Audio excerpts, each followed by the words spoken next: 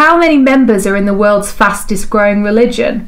Well, in 2014, they were proudly stating they had 10 million members. But today's statistics show there's about 20,000 with a maximum of 35,000 Scientologists in the world.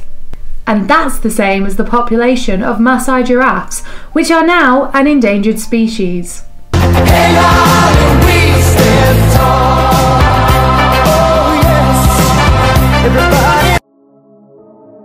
One thing is certain, they are definitely not the world's fastest growing religion.